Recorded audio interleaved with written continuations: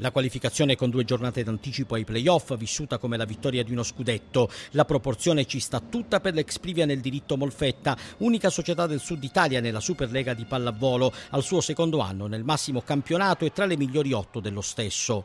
Traguardo conquistato senza favori altrui. Non ci sono incastri da studiare con i risultati degli altri, ma solo il merito della squadra allenata da Vincenzo Di Pinto.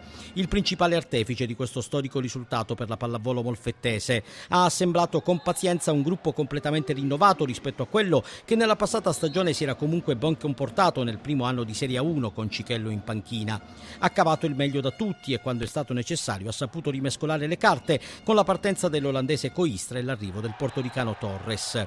Eccolo un altro protagonista di questo Molfetta. Non ha faticato ad integrarsi nel gruppo e per conferma basterebbe chiedere ai campioni d'Italia di Treia sconfitti al Palapoli grazie anche ai 26 punti del portoricano. Ma è toccato a Vincenzo Di Pinto avere pazienza e aspettare che Ierrezuelo in palleggio arrivasse ai suoi livelli, che Noda Blanco superasse il momento di appannamento ad inizio del girone di ritorno, che Schet, Bossi e Candellaro prendessero coscienza delle loro potenzialità e gli ultimi due sono entrati di diritto nel giro della nazionale. Dietro le quinte però ha lavorato in silenzio il direttore sportivo Nini De Nicolo, sostenuto da tutta la dirigenza dell'ex Privia nel diritto Molfetta. Ha scommesso su Romiti come libero ed è stato premiato da questa scelta, così come ha saputo centrare le scelte di Torres e in ultimo del cubano De Spegn, che a Molfetta è tornato con piacere.